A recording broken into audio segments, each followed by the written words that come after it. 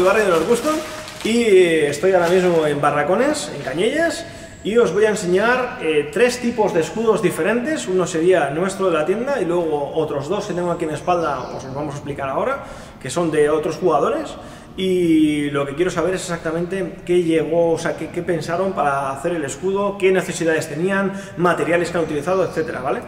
Porque el nuestro, por ejemplo, se vende en tienda y, el- y los de ellos, bueno, se vende en tienda, no, lo hacemos nosotros en tienda para vender a, a clientes, para venderos a vosotros. Y luego el de ellos ha sido hecho por ellos y para ellos, ¿no? Así que bueno, vamos a coger ahora la cámara, os voy a decir quién es cada uno. Ya puede ponerse usted para acá, señor Jaume. Primero me toca a mí. Sí, Vale, no, primero es este. el primero que queréis explicar es este de aquí. Bueno, pero aquí tenemos al señor Jaume. Vale, pues este escudo se fabricó un viernes para una partida del domingo porque el equipo, marranos, me dijeron, queremos un escudo. A correr. Material que tenía por casa y tira para adelante. La medida es de 60 por 140. ¿Por qué 60? Porque es la medida de la, de la- de la chapa de madera que tenía en casa. Que por cierto, cariño, la trasera de los muebles está ahí. Vale. Entonces, ah, la madera llega hasta aquí. Mm, Si no tenía que comprar tablones, y es lo que tenía en casa. Le añadimos la parte superior y aprovechamos para poner el tope para poner el metacrilato y unas guías de quita y pon. Originalmente era metacrilato. Cada partida teníamos que cambiarlo porque quedaba hecho papilla. Ahora lleva po- policarbonato. Más caro, pero es lo que hay. Entonces, pues es mm, contrachapado de medio centímetro y va recubierto de goma eva. Parece una tontería, pero con el contrachapado solo, según a qué distancias las balas atravesaban. Las balas atravesaban. Y la goma eva hace que, ah, Que rebote. que reboten y entonces no traspasan. A distancia, a distancia cero con sniper no traspasan. Parece mentira y tal. Vale, eh, entonces, Recubierto todo alrededor con cámara de bicicleta de Ricard, que cada dos por tres se carga cámaras, y grapada con, con grapadora de, de tapicero. Es lo que tiene. Baratísimo, fácil de fabricar y tal, con material que tenía por casa. Después, parte trasera, una, una asa de, de enganchar las bicicletas en la pared. es lo que tenía en casa. Y dos escuadras con un tubito para poderlo coger. Lo único es que no es ambidextro, o sea, o lo pillas con la, con la izquierda o no pillas nada. Una luz que era de las que se ponen en la cabeza, la, la modifiqué para poderla llevar así. Y esto es lo que tiene, no tiene nada más. Es sencillo de fabricar, económico, barato, cutre y tal. Y después, en la segunda partida, ya me dijeron, ostras, pues lo podríamos cuadrar un poquitín más. Y aparte de ponerle el rótulo que lleva, le hicimos la tontería de esto, realmente cuando te disparan y no te dan, pues siempre está muy bien. No, además desconcentra, desconcentra en huevo, ¿no? Porque te estás acercando a él y de repente pas y te quedas mirando, lo quieras que no. Va haciendo un poquitín de ruido, pero tal. Es curioso, es curioso. Bueno, es un. Mira, es de ir por casa. Total, si revienta, con dos duros te haces otro. ¿Qué pasa? Que este es el, el- el original y después, cuando lo usamos por segunda vez, nos dimos cuenta de una cosa: que o tienes una furgoneta o esto no entra. Claro. Y entonces nos vamos al modelo 2. El modelo 2 es lo mismo. Pero ya compré las maderas porque me había quedado sin tal cual, le pusimos los patitos porque molan un montón. Y, y lo de prueba tu puntería es si nos sacamos unos euros, ¿vale? Ah, lo mismo, lo mismo, lo mismo. La luz también es practicable, le pusimos también el. La rejilla. Sí, la rejilla, por- y está reventada, por cierto. Está muy maja esta. Y es, es funcional, ¿vale? Es de los chinos, o sea que tampoco tal. Y lo, solventamos lo de el transporte con una puñetera bisagra. Ajá. Entonces se puede llevar suelto o en la parte de atrás le pusimos una madera y lo podemos anclar con unos tornillos que los tenemos en una caja. Tienes la caja de los tornillos ahí arriba. Sí, sí, sí. La- esto es la caja de los tornillos. así, lo- así, no. ¿Los tornillos dónde estaban? Tal cual. Y después pues, le pusimos la tontería, ya que hacemos siempre tonterías, de.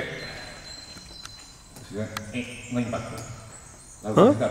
Qué curioso. Sí, no impacto, impacto. Y ya está. Originalmente, como era metacrilato, se pusieron uno por dentro y otro por fuera, pero no me fiaba de que algún bolazo lo reventara, tal cual. Sí. Ahora, como ya tenemos policarbonato, el segundo sobra, pero ahí está. Y ya está. Barato y fácil. Y en la última partida nos lo marcaron por detrás un montón. Eso es que el del escudo estaba jugando Sí, bien. no Entonces... vale, luego el tema de... ¿Consideras que es sencillo jugar con escudo? ¿Merece la pena jugar con escudo? ¿Ventajas, inconvenientes? ¿Qué, qué le ves? A ver, esto lo podrán decir aquí los dos caballeros que tenemos al lado, porque Ricard es el que originalmente iba con el escudo. Ajá. Ahora le coge una afición rara a la escopeta, pero explícalo del escudo, a ver cómo lo ves. Pase usted. Venga, ya lo ponemos. Vamos, ¿lo pillas? A ver, eh, no, no es el rol más sencillo, pero eh, poder ir de cara a los enemigos sin ningún temor, pues agrada a todos. y simplemente escoger una secundaria, a posiblemente una pistola o un MP9, por ejemplo, que tiene semiautomático y automático. Y bueno, hacer que Está nervioso, está nervioso el hombre.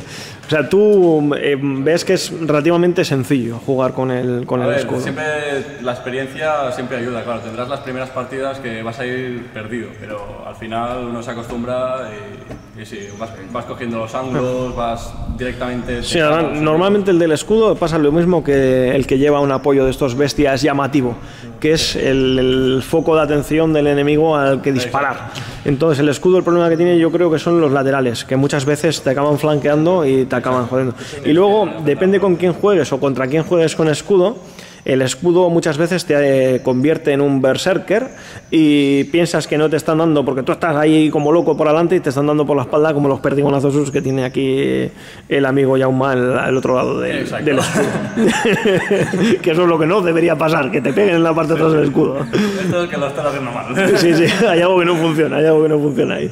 Real- realmente estás con, lo digo por, también por la experiencia de que estás con tu réplica tal cual y ves una puerta que viene corriendo y dices, ¿qué hago? Pero claro, si le estoy disparando a casporro es que no le doy. A ver, este escudo tiene la ventaja de que es bastante grande. He visto muchos escudos que son mucho más cortos y piernas es lo que te llevas por delante. Claro. Este tiene la ventaja de que puedes... Es que el escudo, el riesgo que tiene el escudo muchas veces cuando juegas contra alguien de escudo es que les disparas en las piernas muchas veces y no, y no te cantan. Entonces eso es un riesgo.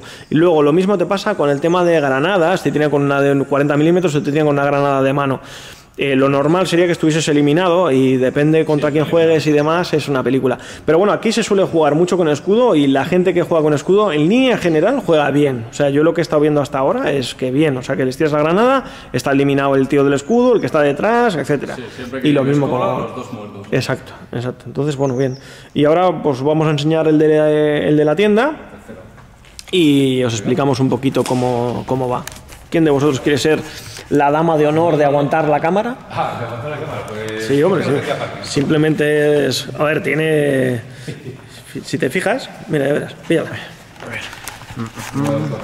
Fíjate en el, en el ojo, desde aquí. Bueno, no sé si vas a ser. Tú fíjate en el ojo, ya verás. Si tú mueves, por ejemplo, la cámara, el ojo va a grabar. Vale. Bien, o sea que no. no. Tema de Parkinson no hay problema. No te preocupes. Bueno, este sería el escudo de, de zona 47. Eh, es un escudo bastante más pesado que el que hemos estado viendo hasta ahora. Llevamos los focos en la parte de delante con la idea de que cuando vayamos frontalmente contra el enemigo, pues no pueda haber un pijo. Y a su vez, el tema de la parte de abajo, que por eso se lo he preguntado también a ellos, aparte de por transporte, eh, el cristal, tú estás viendo a través del cristal. ¿Vale? Tú cuando te estás moviendo con el escudo, estás viendo a través del cristal. Y lo importante es que si tú tienes que agacharte rápido en un momento dado, ya sea hacia adelante o hacia atrás, normalmente hacia adelante, puedas poner el escudo y que sigas pudiendo ver a través del cristal. ¿Vale? Eso también es, porque si, pones un escudo que, tú, imaginaros que esto fuese totalmente rígido, si yo me agacho, pues me queda un poco bajo, tengo que andar aquí arriba, ¿vale? Que pueda agacharme un poquito más, por ejemplo, lo digo bastante importante, para cambiar cargador y demás. Sí que es cierto que aquí en este tipo de escudo lo que buscamos era también una estética, entonces no queda tan sumamente cuadrado. Si buscamos un escudo de protección total, es mucho más seguro el escudo que llevan ellos que, que este tipo de escudo, ¿vale? Ya que todo este trozo de aquí, para alguien que yo tampoco soy muy grande, pero alguien que le puedas pegar en los hombros o lo que sea, pues es mucho más sencillo darle un tipo de escudo de estos que en aquellos otros. Pero bueno, aquí ya os digo que se buscaba una estética. Lleva una tela, ¿vale? Esto lleva como una esponja por dentro, luego está todo con tela, con su tornillería, los faros pues quedan muy chulos, ¿no? Lo que son las luces están muy chulos. Y luego el hierro de la parte de atrás está puesto pues para que puedas agarrarlo de un lateral, de frente, de aquí, como quieras, ¿vale?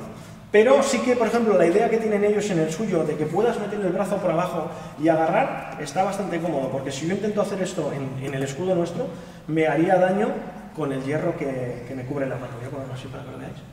En ese hierro que hay ahí, ¿vale?